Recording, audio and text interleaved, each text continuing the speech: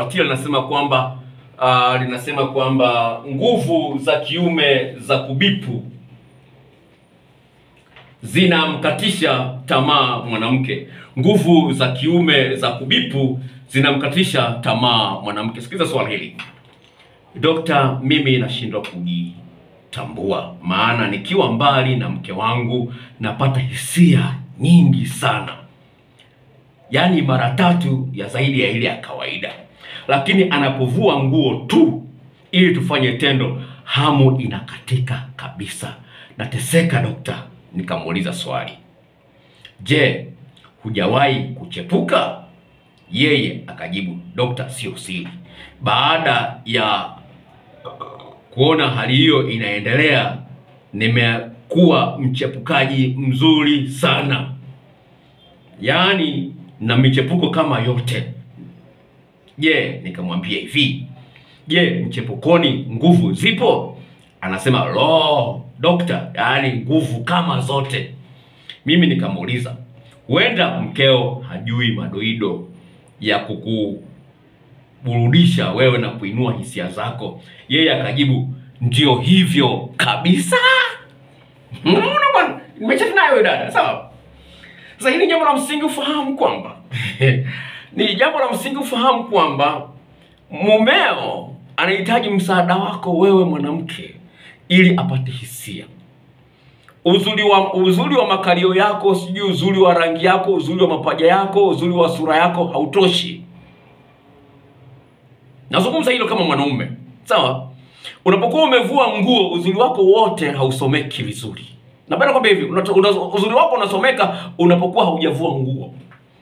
Mapaja mazuri, mwanamke amevaa suruali, amevaa sketi, mapaja yanaonekana vizuri. Napenda nikwambie hivi, kwa uhusiano wa muda mrefu, mapaja yako mazuri, sura yako nzuri haitoshi. Ufundi ndiyo dawa, sawa. Ufundi ndiyo dawa, sawa sawa. Kama nilivyokusomea kwenye message moja ambayo nilikuwa nimekusomea nime, nime, nime nimekusomea hapo hapo mbele, nimekuonyesha kwamba huyu mwanamke ameanza kunifuatilia toka elfu mbili na kumi na saba alikuwa anaachwa ovyo ovyo, lakini baada ya kupata shule kutoka kliniki ya afya ya mapenzi, sasa hivi anasema kwamba mwezi wa saba anafunga ndoa. Ile tatizo la kuachoachwa ovyo limepotea. Kwa sababu gani? Kwa sababu huyu mwanamke amejifunza vitu vipya. Sasa kuna shuhuda hapa, nipenda nikuletea mwanamke unayenisikiliza ili uweze sawa sawa, ili uweze kuona kwamba haya mambo yapo. Mwanamke unayenisikiliza, naomba nisikilize. Huyu ni dada anasema hivi, jamani, dokta, naomba unisaidie.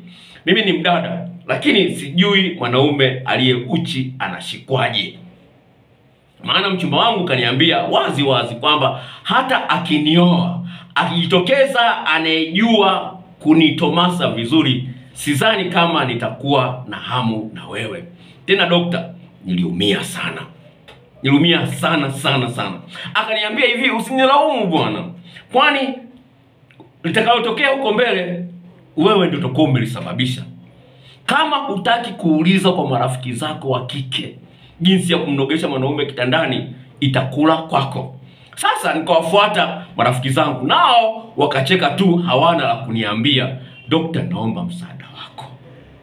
Sawa, naomba msaada. Wewe unaweza kuona jinsi gani ilivyo, ikaambiwa kabisa wazi. Sasa ninachozungumza ni hivi, huyu anasema kwamba nguvu zake za kiume ni za kubipubipu kwa mke wake, lakini akila mchepuko sio hivyo. Sasa ni wajibu wako wewe mwanamke kujua jinsi ya kumsaidia mwanaume anapokuwa amemaliza raundi ya kwanza, kujua jinsi ya kumsaidia mara pili. Nao ushuhuda kwa mama ambayo yuko ndani ya ndoa, bahati mbaya ameniwekea kwenye voice note, siwezi nikasikilizisha sauti yake, utaitambua. Yuko ndani ya ndoa miaka kumi na tano. Hii ni wiki ya tatu, anasema dokta, na furaha sana. Mume wangu anavyonipenda mpaka anatama- hatamani hata kwenda kazini. Kwa show nayompa anambadilishia mitindo mbalimbali. Kama alivyozungumza mwanaume ana maeneo kumi na manne. Kila moja lina ufundi wake. Akaniambiaje huyu mama? Huyu mama ana miaka arobaini na moja. Akaniambiaje? Dokta nimegundua kwamba unapokuwa unajua kitu fulani una- kuna vingine unavigundua humo kwa humo. Unapogundua mwenzangu anakipenda kile kwa hiyo sasa nakutana kesi nyingi sana za mwanaume anasema kwa mke wangu naishia goli moja lakini nikienda nje ya ndoa napiga magoli matatu bila shida. Napenda kwambia hivi. Ukisababisha mwanamke akuzo, mwanaume akuzoee italeta shida sana kwenye ndoa yako. Sababu unafahamu mambo matatu manne wakati yako kumi na nne nasema huyo mwanamke mwanaume atakuzoea.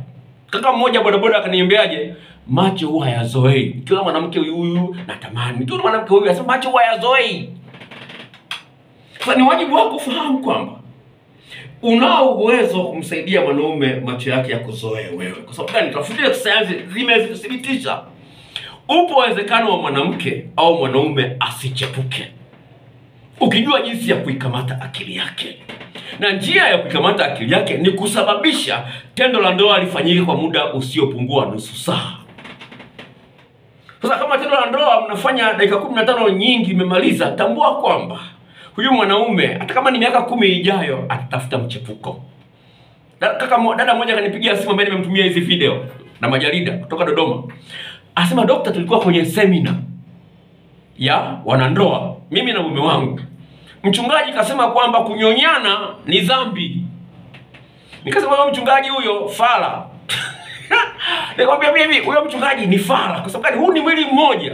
Kuna dhambi gani ya kunyonyana sawa mimi hivi, hivi, sema hata mume wangu akaniambiaje? Mume wangu hapo hapo toka kwenye semina akaniambia hivi ambia hivi wewe usikopi haya mambo anayozungumza mchungaji hapa. Yaache hapa hapa.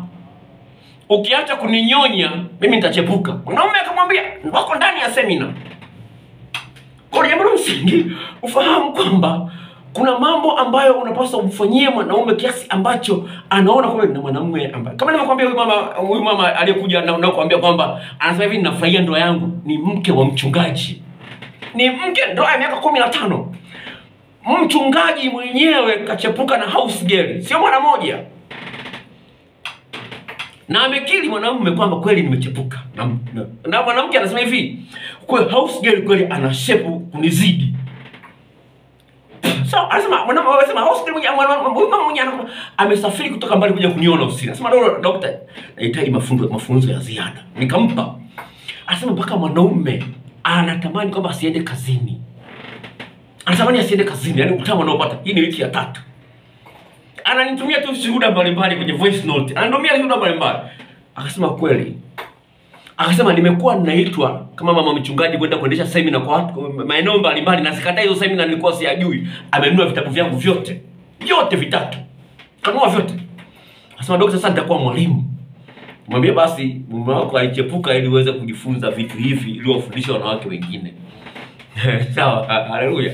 Kwa hiyo haya ni mambo ambayo yapo. Kwa hiyo jambo la msingi mwanamke ajue vitu vya kumfanyia mwanaume